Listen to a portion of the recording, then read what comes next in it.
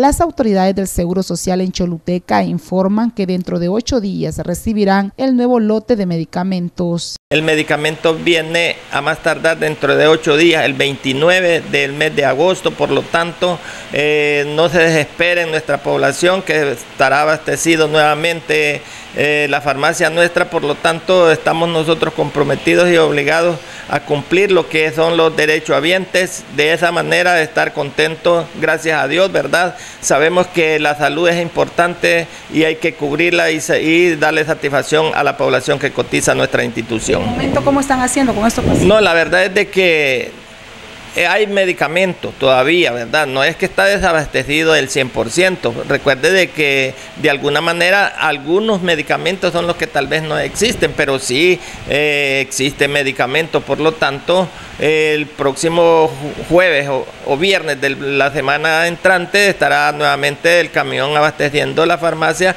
para darle cumplimiento a las obligaciones como seguro social que tenemos acá en nuestra región. Por otra parte, la amnistía se mantiene a agregó Carranza. Gracias a Dios, ¿verdad? Gracias a los honorables diputados que tuvieron a bien dar una amnistía, recuerde que es una ley, por lo tanto, ¿verdad? No se puede negar que hay cualquier cantidad de patronos morosos con nuestra institución pero están gozando lo que es la amnistía. ¿Qué es una amnistía? Pues es un perdón, es una dispensa de pago en cuanto a lo que son los recargos, multas e intereses. Solo estarán pagando la muy planilla.